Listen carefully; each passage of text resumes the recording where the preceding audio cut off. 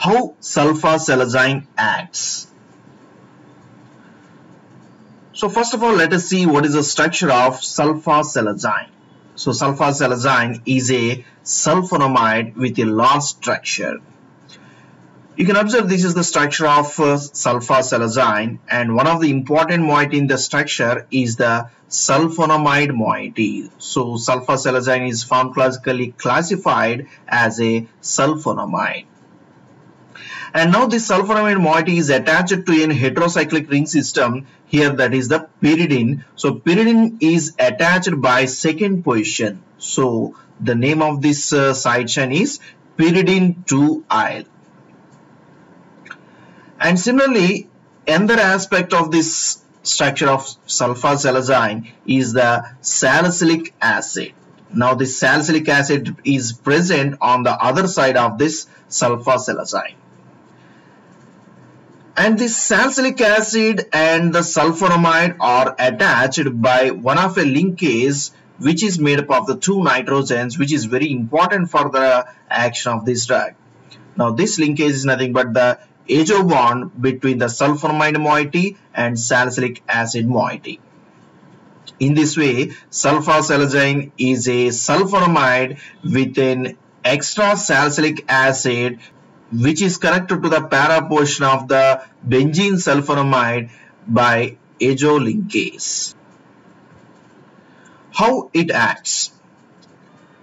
Sulfasalazine is one of a prodrug which should be activated when it is administered into the body. So whenever the sulfasalazine is administered, it is poorly absorbed and whatever the absorbed sulfasalazine is again secreted into the colon where it is metabolized to produce its uh, active metabolite.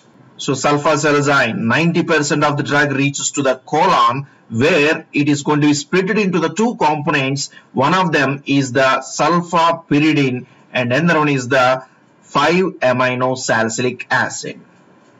So sulfapyridine, one of the important moiety released from the sulfasalazine is acting like an antibacterial. On the other hand, 5-amino salicylic acid produce anti-inflammatory action. So among these two moieties, 5-amino salicylic acid has proved more beneficial because of its anti-inflammatory action. Sulfapyridine, which is released into the colon, can also be absorbed to some extent into the systemic circulation where it reaches into the blood. On the other hand, 5-amino salicylic acid, because of its polarity, it cannot be absorbed further and it is mainly excreted into the feces. In this way, sulfasalazine is split into the two components, sulfapyridine plus 5-amino salicylic acid. You can see the structure of the sulfasalazine. Now it is having the two components. Here the azo bond is going to be cleaved to give the active metabolites of the sulfasalazine. Now when it is going to be splitted, it releases two components. So one of the component is the 5-amino salicylic acid. You can observe that the carbon bearing the carboxylic acid is given the first number, thereby amine group gets the fifth position. So 5-amino salicylic acid is one of the important metabolite that is released from the sulfasalazine. And the other part of the sulfasalazine is the sulfapyridine because it's a sulfonamide with a pyridine structure. So it is a sulfapyridine. Now this cleavage of the sulfasalazine is mediated by the gut flora, what are the bacteria present in the gut wall. So these bacteria present one of the enzyme azoreductases which will cleave the sulfasalazine into the 5-amino salicylic acid and sulfapyridine. Here 5-amino salicylic acid produces an anti-inflammatory action and sulfapyridine also proved some beneficial action in case of rheumatoid arthritis. What are the possible mechanisms? Still the exact mechanism by which this sulfasalazine acts is not clear but many of these mechanisms are proposed by which the sulfasalazine can produce anti-inflammatory action. So the first one, it can inhibit the COX synthesis, cyclooxygenase synthesis, thereby it inhibits the production of the prostaglandins. prostaglandins are the one of the important inflammatory mediators responsible for the inflammatory reactions. And second proposed mechanism is that the active metabolites of the sulfasalazine can inhibit free radicals and they can act as the free radical scavengers. So these drugs can also show some antioxidant like activity so that they are going to decrease the free radicals within the body.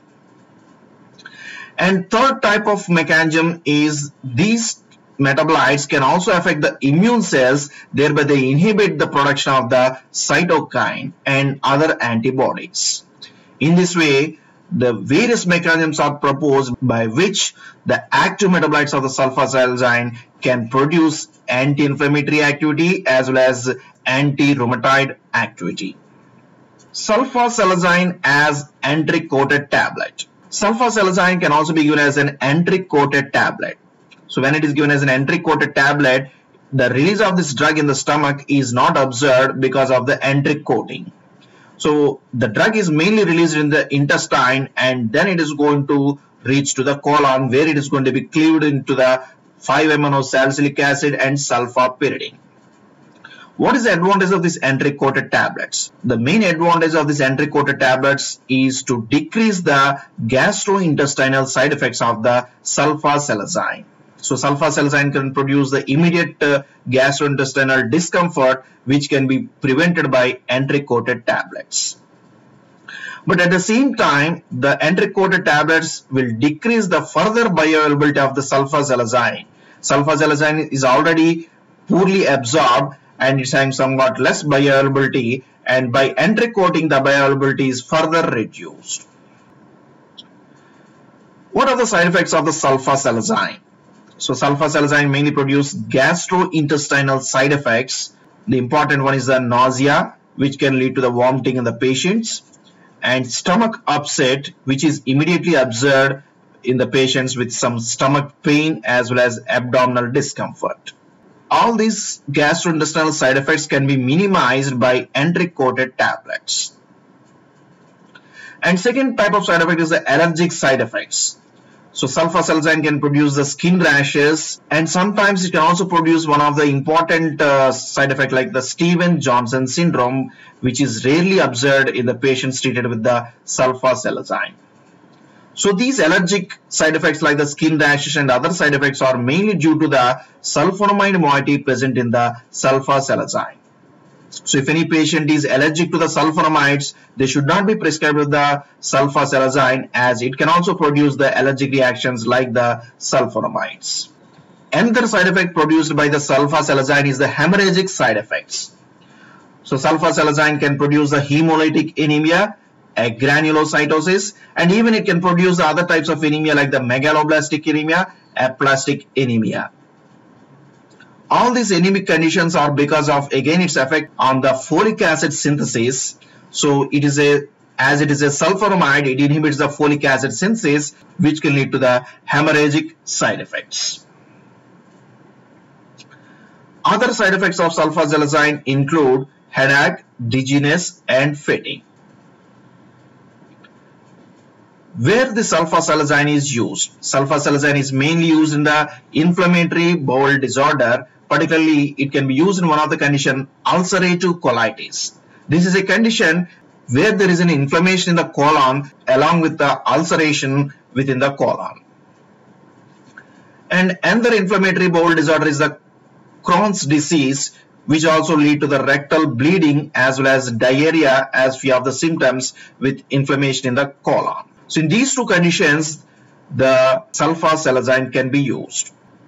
And another important use of this sulfasalazine is the disease modifying anti-rheumatic drug.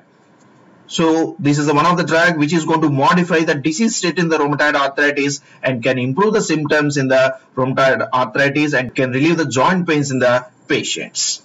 So in the treatment of the rheumatoid arthritis, sulfasalazine preferred as an enteric-coated tablet as it reduces the gastrointestinal side effects. So these are the two important use of the sulfasalazine. So sulfasalazine is a prodrug which is mainly converted into 5-amino salicylic acid and sulfapyridine. both are having its own actions to produce uh, anti-inflammatory effect and they are used in the inflammatory bowel disorder as well as in the treatment of the rheumatoid arthritis.